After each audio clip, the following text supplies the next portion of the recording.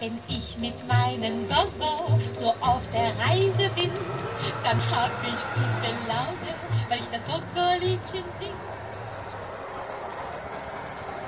Ja, für alle daheim geblieben. Ich bin auch wieder daheim. Hab meine Wunden geleckt und viel ist an meiner Zunge kleben geblieben. Gleich sehen wir's.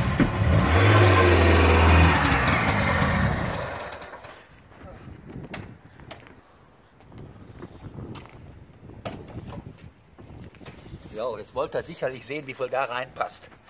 Mehr wie eine Filetta oder mehr wie da hinten zu sehen ist. Fangen wir erstmal mit dem Altpapier. Jo. Peter Pan, 110 Volt aus USA, benannt nach dem Märchenfilm Peter Pan. Nummer 1. Plattenschlucker aus Italien. Nummer 2. Offenes Röhrengerät. Namenlose Firma, 1924. Nummer 3. Nochmal Peter Pan, ungefähr 1928, USA.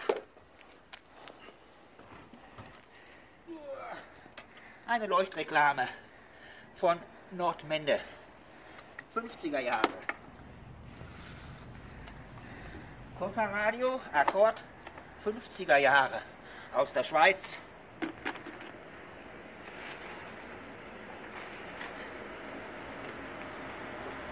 Französisches Küchenradio, 50er Jahre, Frankreich. Notradio der Firma Emut, ungefähr 1949, 50. Jetzt stoßen wir vor in den Innenraum. Nochmal ein schönes Designradio aus, der, aus Frankreich. Kann auch Belgien sein. Jo, noch nicht alles. Meine Güte, das nimmt kein Ende. Der Lautsprecher aus den 20ern für dieses Gerät. Und guter Schluss. Ein Großgerät ist jetzt genug. Radio Marelli, 1950, made in Italien. So. Werbeprospekte, Werbematerialien.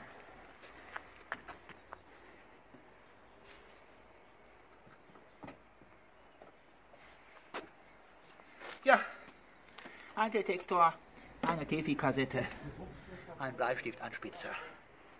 So, das war's. Und jetzt, jetzt muss ich mich ausruhen, meine Damen und Herren. Bis zum nächsten Mal, denn ich muss meine Wunden weiterlecken. Mein Hintern tut weh.